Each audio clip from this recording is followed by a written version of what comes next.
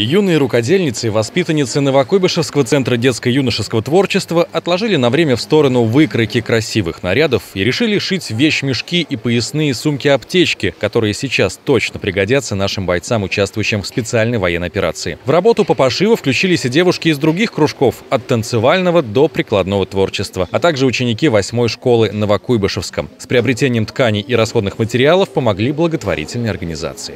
На данный момент мы шьем вещь-мешок. В этих мешках э, у наших ребят, которые сейчас находятся на спецоперации, не будут, будут вещи теплые, они не промокнут, не испачкаются. Еще один вид работы, который мы с вами сейчас выполняем, это сумочки, медицинская сумочка, предназначенная для лекарств. Девочки стараются в том числе и для пап, своих сверстников, призванных в армию. Уже готово 40 аптечек и 20 вещмешков. «Оберегая жизнь» – так назвали свою гуманитарную акцию юные волонтеры и их наставники. Перед тем, как передать на фронт медицинские сумки, изготовленные своими руками, они наполняют их препаратами первой необходимости. Это аптечка, мини-аптечка с различными карманами, а, где расположены а, все медикаменты первой необходимой помощи медицинской.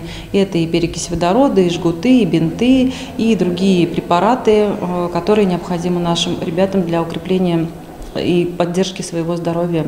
Кроме того, дети-волонтеры запустили еще одну акцию «Вкусный привет». Родители и педагоги помогают закупать сладости, которые также отправятся защитникам Отечества. Сергей Сергеев, Сергей Попов. Новости губернии.